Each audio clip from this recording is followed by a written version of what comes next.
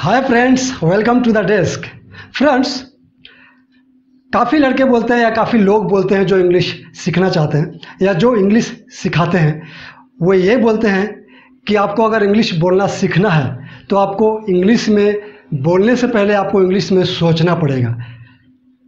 तो क्या ये सही है? क्या सच में हमें इंग्लिश बोलना सीखने के लिए इंग्लिश में ही सोचना पड़ेगा? बिल्कुल नहीं। फ्रेंड्स जब हम हिंदी बोलते हैं या हिंदी में हम किसी से बात कर रहे होते हैं तो क्या बात करने से पहले हम सोचते हैं?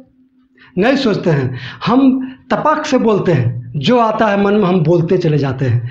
क्यों बोलते हैं? हम कुछ भी बोलते हैं। हम सोए होते हैं और कोई हमें उठा रहा होता है, मेरा दोस्त उठा रहा है हमको तो मैं उसको बोलता अबे साला रुकना मेरे को और थोड़ा सोने दे। साला, अबे साला कहाँ जा रहा है? अरे साला मेरे को क्यों नहीं बुलाया? ये साला जो वर्ड है, हमने कहीं सीखा था। किसी स्कूल में सीखा था, किसी किताब से सीखा था, कहाँ से सीखा था?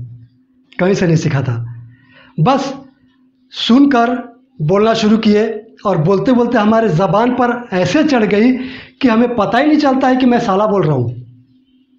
इसी तरह से लैंग्वेज की भी बातें होती हैं। अगर हम किसी लैंग्वेज को बोलना सीखना चाहते हैं तो उसको उसी भाषा में सोचना ज़रूरी नहीं है। जब हमें आता ही नहीं है वो भाषा तो हम उस भाषा में सोच कैसे सकते हैं? हम हिंदी बोलते हुए भी हम हिंदी नहीं सोचना पड़ता हमें तो फिर हम इंग्लिश बोलने से पहले हम इंग्लिश में कैसे सोच सकते हैं? ये बिल्कुल नहीं हो सकता है। जो ये बोलते हैं कि आपको अगर इंग्लिश सीखनी है तो इंग्लिश में सोचना चालू करो तो ये गलत है।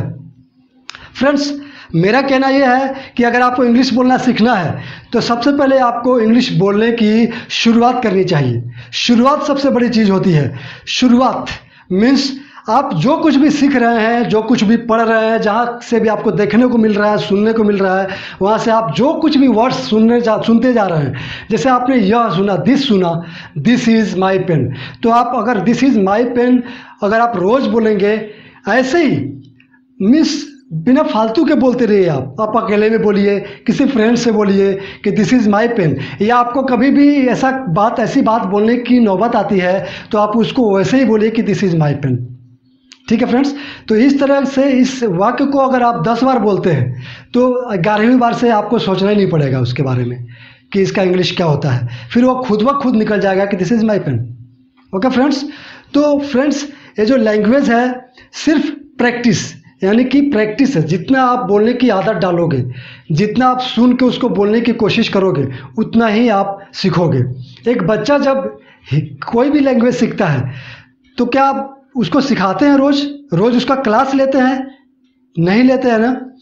आपको या हमें या गार्जियंस को बात करते हुए या लोगों को बात करते हुए सुनता है और सुनता है, ध्यान से सुनता है और यह समझने की कोशिश करता है कि वो फला क्या बोल रहा है तो उसका मतलब सामने वाला क्या समझ रहा है।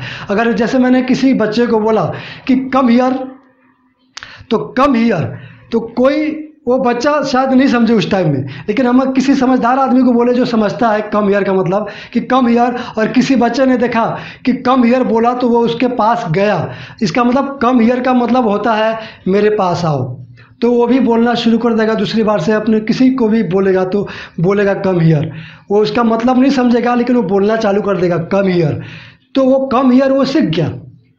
भले उसका मतलब पता ना हो कि उसका मतलब क्या होता है, लेकिन वो कम हियर सीख गया कि हम बुलाते हैं, किसी को तो बोलते हैं कम हियर इसी तरह से हम जो रोज़ सोचते हैं ना, हमारे दिमाग में जितनी भी सोच आती है सेवेंटी परसेंट हम रोज़ की बातें रिपीटेशन करते हैं, वही वही बात बोलते हैं। तो अगर आप इंग्लिश कहीं से सीख भी रहे हैं, या किताब से सीख रहे हो, या कहीं ट्यूशन क्लासेस ले रहे हो, या कोचिंग क्लासेस में जा रहे हो, या स्पोकन इंग्लिश ज्वाइन किया आपने, कहीं से भी आप जो भी सीख रहे हो तो सीखते हुए आपने जो कुछ भी सीखा, उसको आप इस्तेमाल करना सीखो। कोई ज़रूरी नहीं है कि एक ही दिन में पूरा धड़ा धड़ इंग्लिश बोलना शुरू कर दो। आप जो कुछ, जितना कुछ भी आप बोल सकते हो, एक ही चीज़ को आप दस बार बोलो। दस बार बोलने के बाद ग्यारहवीं बार से आपको बोलने, सोचने की ज़रूरत नहीं पड़ेगी। खुद ब खुद निकलेगा। जैसे मैं आपको एक उदाहरण देता हूँ। जैसे आपने सीखा कहीं से कि मुझे जाना है। मुझे जाना है और आपको सिखाया गया कि जब भी ना है, नी है, ऐसा आता है तो हैव टू लगाते हैं। तो इसमें हो जाएगा आई हैव टू गो ठीक है friends? I have to go अब आपको बताया गया है कि हैज़ भी कहाँ लगाते हैं? जैसे उसे जाना है तो उसे के साथ हैज़ लगता है। तो ही हैज़ टू गो। अब आप इसी तरह के सेंटेंस आपको सिखा दिया गया कि इस तरह के जितने भी सेंटेंसेस है, उसमें हैज़ टू और हैव टू लगाकर बोला जाता है। तो आप वैसे बोलना शुरू कर दीजिए ना। आप इस तरह के सेंटेंसेस रोज़ ना जाने कितने बोलते होंगे। तो जितने भी बोलते हैं, उसको आप उसी भाषा में बोलिए, इंग्लिश में ही बोलिए आप। आप रोज़ बोलते रहिए, जब तक कि आप आपके वो ज़बान पर चढ़ नहीं जाती है। सारी बातें जो है, सारा किस्सा जो है, ज़बान पर चढ़ने की है। ज़बान पर चढ़ जाती है, फिर मुझे या हमें या किसी को भी सोचना नहीं पड़ता उस शब्द को बोलने के लिए। ठीक है फ्रेंड्स? हम हिंदी में भी कई बार बोलते बोलते अटक जाते हैं, क्योंकि वो शब्द हमें याद नहीं आता है। तो जब जो भी शब्द हमारी ज़बान पर चढ़ा हुआ है, वो तपाक से निकलता है, फटाक से फ्लुएंटली निकलता है। तो इसी तरह से हम बोलते जाएँगे, मुझे खाना है आई हैव टू इट मुझे हंसना है आई हैव टू लाफ मुझे गाना है आई हैव टू सिंग मुझे कुछ कहना है I have to say something आप दिन भर में जितना भी इससे संबंधित सेंटेंसेज हो, आप एक दिन सिर्फ़ यही बोलो, सिर्फ़ यही बोलो आई हैव टू गो तुमको यहाँ रहना है you have to live here तुमको पढ़ना है यू हैव टू रीड मुझे तैरना है आई हैव टू स्विम मुझे बाज़ार जाना है I have to go to market मुझे सब्ज़ी खरीदनी है I have to buy vegetables आप दिन भर, पूरा दिन यही बोलो. इसी की प्रैक्टिस करो। फिर देखना आपको दूसरे दिन से इस तरह की सेंटेंसेस जब भी आपके ज़बान पे आएँगे तो आपको सोचने की ज़रूरत नहीं पड़ेगी। आप एक एक चीज़ रोज़ सीखो। रोज़ सीखते सीखते आपको पता चलेगा एक महीने के अंदर आप एक महीने के अंदर आप बहुत ही अच्छी इंग्लिश बोलने लग जाओगे।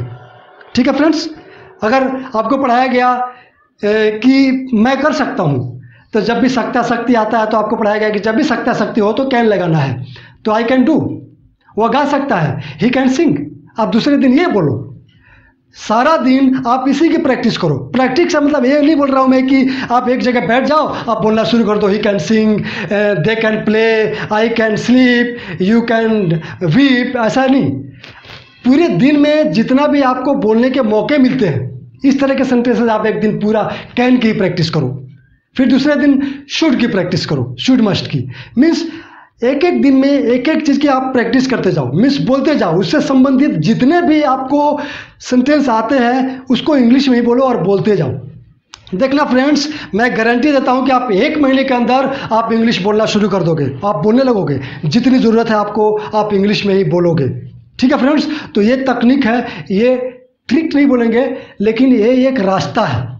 एक वे है। This is the way okay friends इस रास्ते से आप अगर आप फॉलो करेंगे इस रास्ते को, इस वे को अपनाएँगे आप तो आप इंग्लिश बोलना ज़रूर सीख जाएँगे। ओके फ्रेंड्स उम्मीद करता हूँ कि आज का वीडियो आपको अच्छा लगा होगा।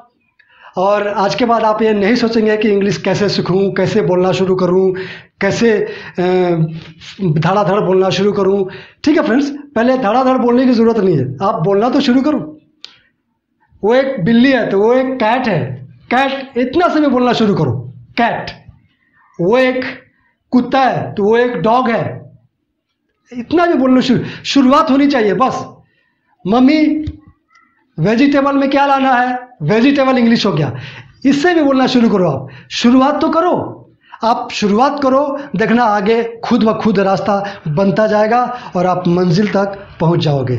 ओके फ्रेंड्स तो उम्मीद करता हूँ कि आज का क्लास आपको अच्छा लगा होगा। और अच्छा लगा है तो लाइक ज़रूर कर देना। और अभी तक अगर आपने हमारे चैनल को सब्सक्राइब नहीं किया है तो सब्सक्राइब करके बेल आइकन दबाकर ऑल नोटिफिकेशन ऑन कर देना, ताकि हमारे हर वीडियो का नोटिफिकेशन आपको पहुँचता रहे और आप इंग्लिश सीखते रहे। तो अब तक हमारा वीडियो देखने के लिए थैंक्स थैंक्स अलॉट एंड धन्यवाद।